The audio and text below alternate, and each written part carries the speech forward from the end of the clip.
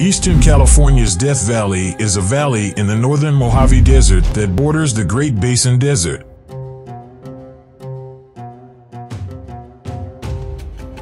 It is the hottest area on Earth in the summer.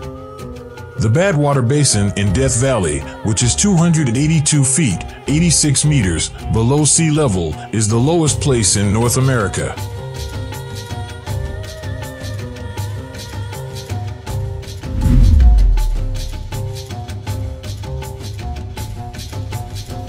With an elevation of 14,505 feet, it is located 84.6 miles or 136.2 kilometers east-southeast of Mount Whitney, the highest point in the contiguous United States. The hottest ambient air temperature ever recorded on the surface of the Earth was 134 degrees Fahrenheit 56.7 degrees Celsius at Furnace Creek in Death Valley on the afternoon of July 10, 1913, according to the United States Weather Bureau. Some contemporary experts, however, disagree with this reading and a number of others made during that time, a century ago. It is also one of the hottest spots on Earth, the driest place in the USA, and the lowest point in North America. But Death Valley is one of the USA's most inspiring road excursions from mid-October to mid-May.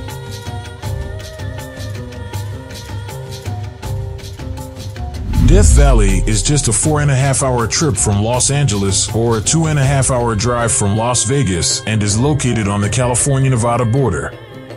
The National Park Service is in charge of many areas in Death Valley that have been declared wilderness areas.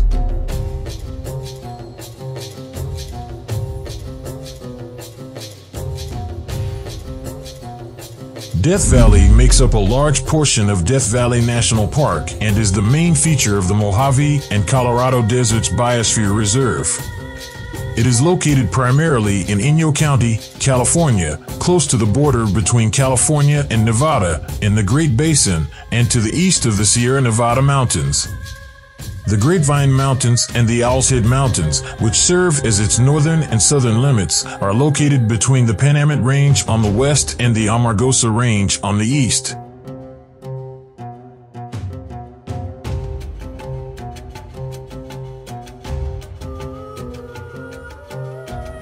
Death Valley experiences long, extremely hot summers, brief, moderate winters, and minimal rainfall. It has a subtropical, hot desert climate. Due to its location in the rain shadow of four significant mountain ranges, the valley is exceedingly dry, including the Sierra Nevada and Panamint Range. To get to Death Valley, moisture must travel inland from the Pacific Ocean and cross the mountains to the east. As air masses are pushed upward by each range, they cool and condense moisture, which then falls as rain or snow on the western slopes. Most of the moisture in the air has already been lost by the time the air masses reach Death Valley, so little of it is still available for precipitation to form.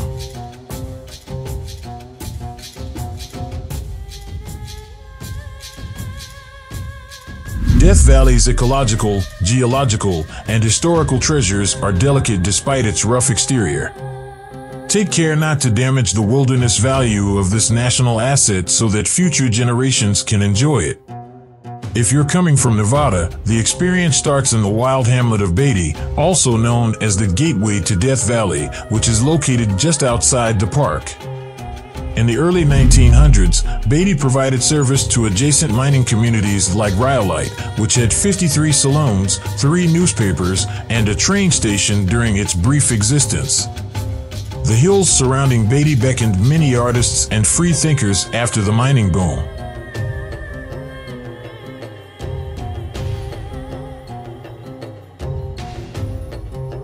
The Mojave has traditionally attracted those who are spiritual. Stretch your legs at Father Crowley Overlook, which is dedicated to the guy they call the Desert Padre if you're entering the park from the California side. Darwin Falls is a 10 mile drive farther into the park and serves as a gentle reminder that, despite the park's ominous reputation, it actually sustains an astonishing variety of life. Shake off the dust at Panamint Springs after Darwin Falls. Remember to restock on petrol and water before heading out onto the back roads, whether you want to spend the night ore are simply stopping by to whet your appetite. This is not a place for the unprepared.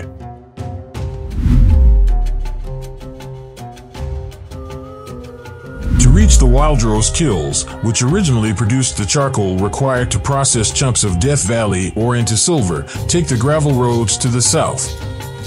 Visit the Eureka Mine, where pick-swinging wealth seeker Pete Aguereberry spent his whole life. Instead of striking it rich, the Frenchman discovered tranquility, one of Death Valley's greatest riches.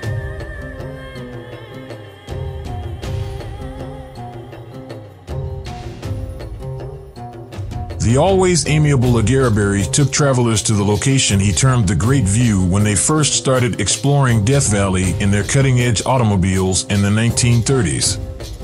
Climb to his favorite viewpoint to witness the breathtaking sight of the Panamint Mountains tumbling 6,000 feet into the valley below. Go further into the sun-baked center of the park at Stovepipe Wells after exploring the Panamint Range's side roads.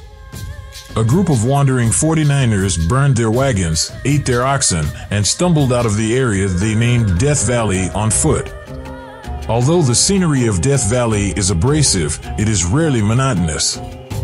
Every turn on these arid roads unveils a new landscape with a distinctive geological voice and a unique tale to tell.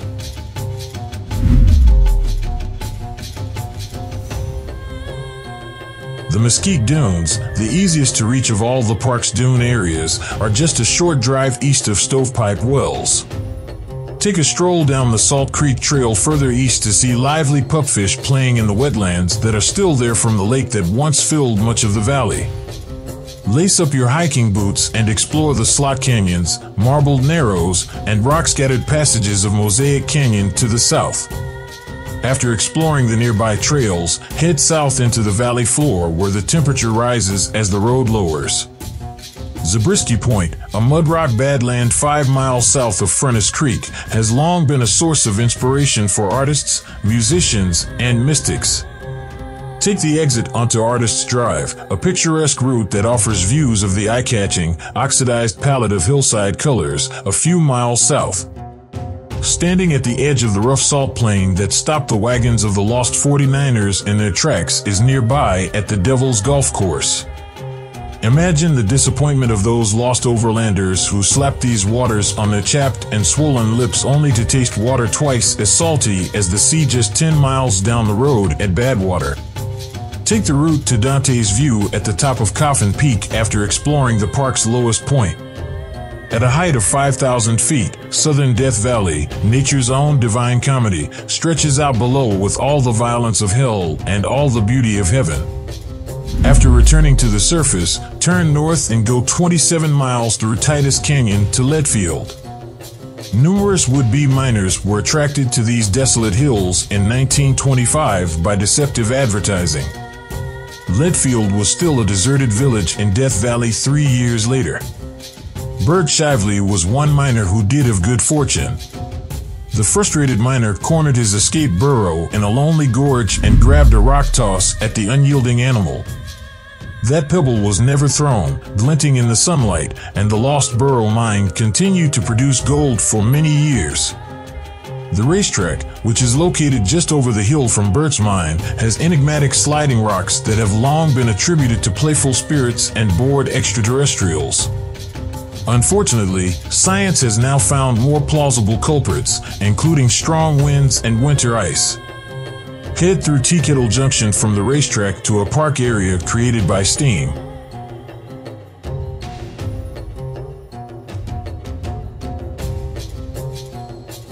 Drive up to the crater's rim to see how rising magma collided with cool groundwater to create the Ubehebe crater. According to some geologists, the crater was just formed 300 years ago, serving as a reminder that Death Valley is actually very much alive and always evolving. Welcome to a place where the rusty metal and abandoned mining shafts of the past tell stories of tenacity and hope. Where awe-inspiring landscapes frighten, mystify, and enchant. Where the wind simultaneously scours the flesh and whispers all of the world's secrets. Alright everyone, thanks for watching and see you in the next video.